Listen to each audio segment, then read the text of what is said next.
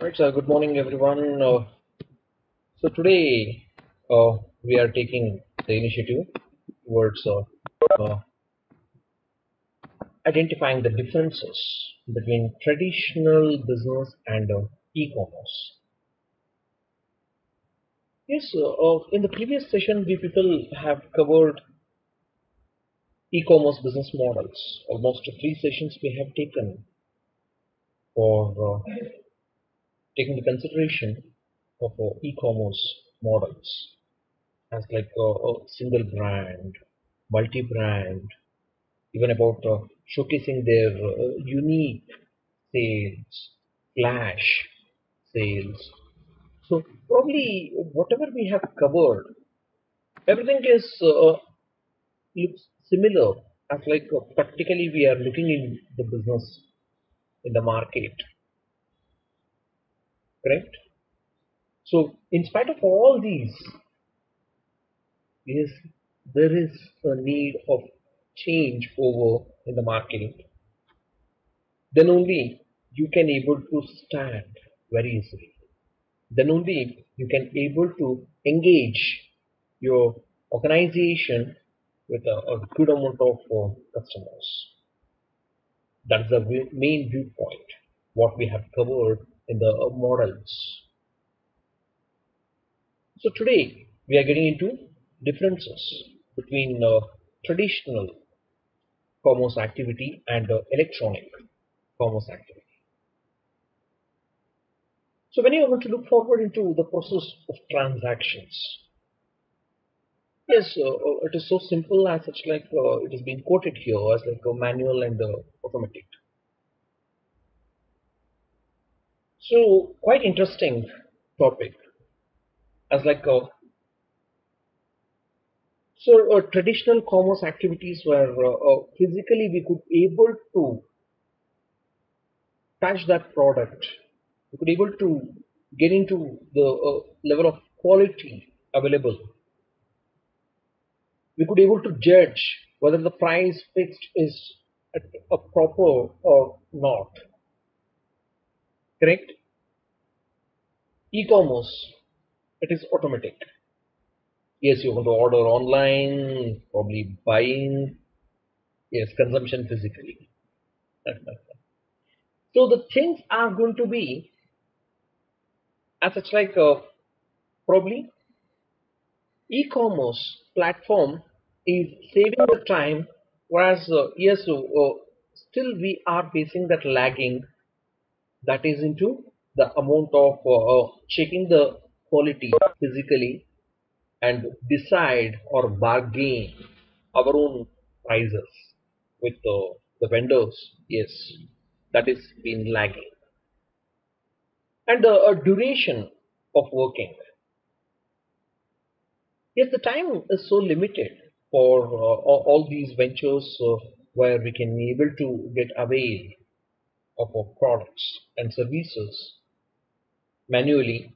Yes, there is a limited time. Probably, uh, in case if you want to start thinking about uh, uh, some of the retail outlets, they're going to start off uh, uh, in the beginning time at the early morning maybe in between they are going to take the break and again evening they are going to start somewhere some of the businesses where durable goods are getting sold off yes they would like to have their own kind of uh, time limit. As like uh, probably morning 10 o'clock they would like to start and in between they would like take the break and again uh, they're going to continue by the time of evening right? So it is almost such like a, a limited time. Because uh, uh, that uh, human manpower is so limited over there in the traditional commerce activity. So traditionally, yes, uh, uh, one proprietor with him uh, probably one or two or few more assistants they used to get involved. But in the e-commerce activity, 24 bar 7 into 365 days. So probably you may go for booking that, you may put it into the cart, uh, probably you may go for uh, uh, making the order for that, and uh, even uh, the delivery time is going to be mentioned over there uh, within one hour, one day, one week. Yes, the duration of time is being mentioned for the delivery of that product, and automatically it's going to reach to your home. So the thing is uh, going to be as like a duration of working. Majority of the time, when you're going to take the consideration of, uh, people in India with uh, more than age of uh, 50 years, even till today, they believe in this manual instead of uh, that uh, e-commerce activity. Whereas uh, when it comes to the uh, age group of less than 35 years of age group, yes, they would like more with e-commerce rather than traditional. And yes, of course. So again, the a sandwich kind of uh, age group between uh, that uh, 35 to 50. Yes, both. Correct. So the duration of working is influencing on our individual perspectives. Workload associated with the consumer. Correct. Then about uh, uh, inspection possibilities. Yes, uh, I quoted the same point in the first point as like uh, physically you can able to check that. But uh, uh, here with respect to the amount of uh, uh, e-commerce, yes, physically we may not able to do the cross check that inspection physically it is not possible. By the moment we are going to check the del delivery of that product, yes, of course we may able to choose whether it is uh, right, wrong, whether uh, we are into the right pace or not. Yes, we are going to do the cross check. come to the scope of business. Yes, the terminology scope of business is about geographical area to be covered. Here, into the traditional commerce activities, limited area can be covered. Probably, uh, if you would like to have your outlet need to be expanded completely, probably assume that uh, uh you are there in uh, the center place of Karnataka and you would like to express that all your garments products are so best quality. The best amount of designs are available. Yes you are trying to quote many things over there. In spite of that also a common question is there with many of the bangalore people that uh, yes sir even we do have Chickpet here in bangalore itself why do we need to travel uh, somewhere in the part of karnataka to buy uh, the clothes? Correct? So the things it is such like where uh, when you are going to get associate with the traditional setup of your physical set of your organization with respect to the commercial activities of uh, trading buying and selling yes the coverage of uh, area is limited whereas uh, e-commerce Yes, uh, most of the time we will not be knowing where this manufacturing plant is, where the warehouse is. Just we are going to put the order, then get the delivery of products. We never bother about. Just we are going to look forward whether the price is getting matched, whether the product is getting matched. Correct? That's how the things work. So marketing it's about uh, uh, one way of approach. Yes, uh, the retailer or else maybe uh, the uh, traditional commerce proprietor, he would like to sell his shop items through many of the shelves, many of the holdings used to be kept, many of the personal acts to be conveyed. Then it's a kind of a pull strategy where people they have to get attract towards his shop.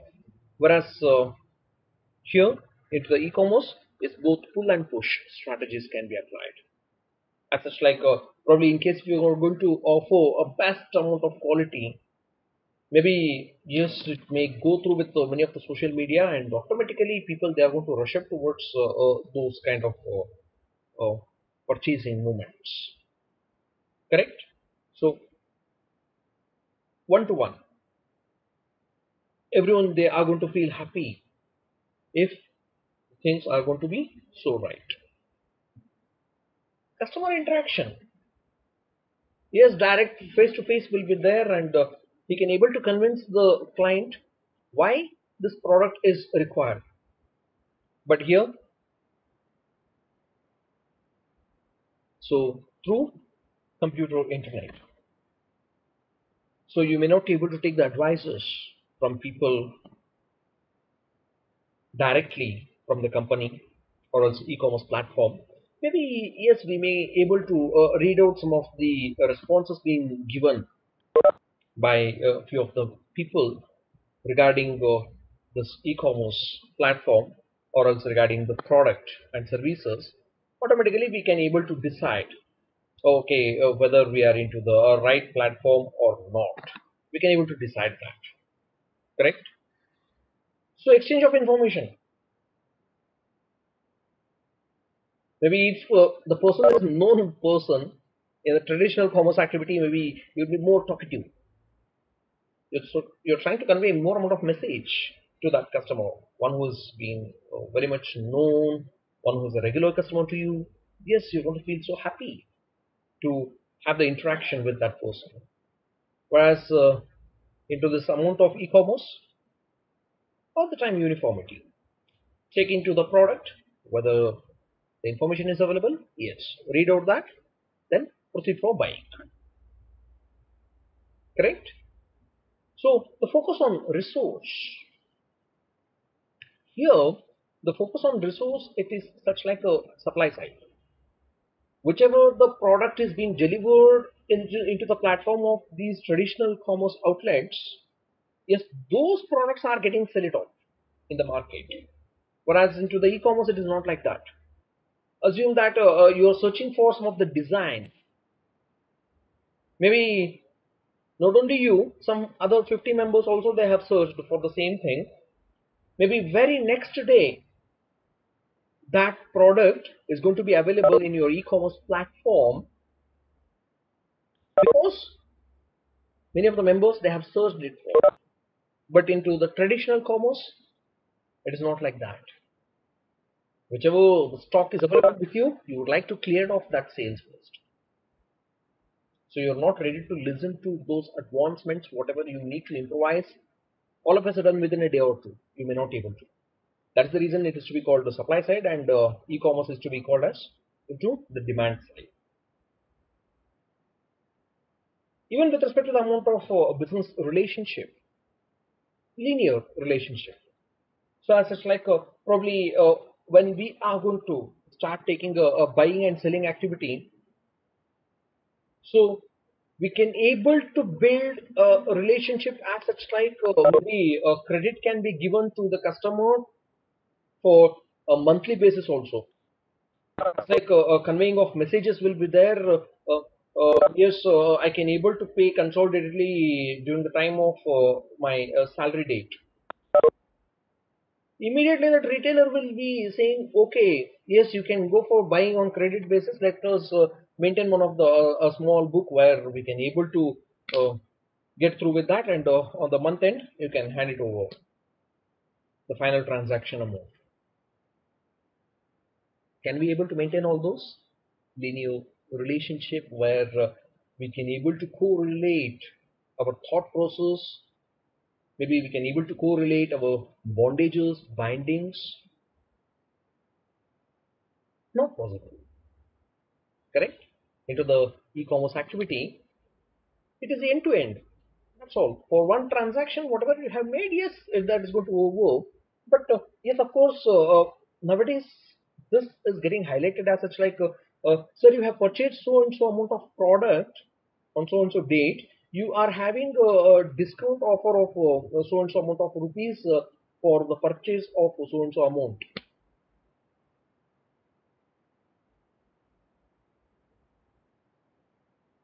recently just I have visited uh, uh, that uh, one of the organized retail outlet just I purchased the product and we had a transaction uh, talk of almost like 10 minutes but he never called me back for buying something. But at the same amount of time, through e-commerce platform, when I purchased, just I received one more message also that you will be getting the amount of 10% off if you are going to buy for the next sale. So make utilization of this offer within this week. Sir, uh, uh, you told as such like it is linear and uh, end to end. It is getting twist here. No. When you are regular with some of these traditional outlets, yes, your relationship, your bondages will be more and more. That is the uh, main point what we are discussing. Correct? Here, yes, purely commercial in nature. So that psychological aspects we need to learn it here. Even about the payment, cash, electronic fund transfer, maybe on a credit basis also you may be able to run this traditional e-commerce. But uh, into the e-commerce thing, so electronic fund transfer or credit cards, so somehow yes, you need to make the payment. Then only the product will be delivered. So goods delivery immediate on spot, whereas uh, it takes a little time. And uh, opinion of people as such like uh, a traditional commerce activity is uh, purely safe whereas uh, e-commerce activity is not safe because most of our information might get revealed to the third party what we are buying what is our taste and preferences and uh, probably uh, uh, if you are going to feel as such like this should be the year time buying of mine but in spite of that also, you're going to get uh, a few more calls. Correct? Because your data is being sold out into that open market. That possibility is more. That is the reason it is to be called not safe. Right? So uh, with this note, uh, we people could able to complete differences between uh, traditional business and e-commerce. Thanks to everyone.